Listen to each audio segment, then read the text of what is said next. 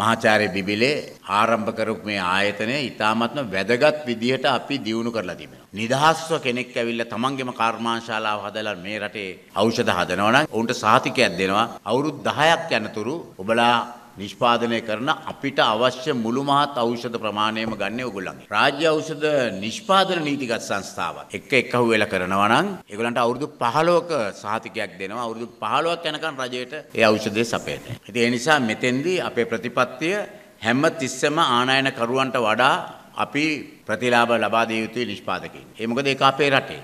අපිට තියෙන්නේ පුළුවන් තරම් ඔවුන්ට උදව් කිරීම. උන්ට දෙන්න පුළුවන් සේලු සහන දෙන්න ඕනේ. එහෙම තමයි රටවල් දියුණු වෙන්නේ. ගියවර මම බිබිලේ අනුස්මරණයට කිව්වා තව 28ක මිල අපි ඉදිරියේදී අඩු කරනවා කියලා. මේ මාසයේ අවසන් වෙන්නට පෙර ඒ ගැසට් නිවේදනය මම නිකුත් කරනවා තව 30ක මිල අඩු කරලා. ඒවා අතර ඖෂධ විතරක් නෙවෙයි මෙඩිකල් ඩිවයිසස් උත් එක්ක.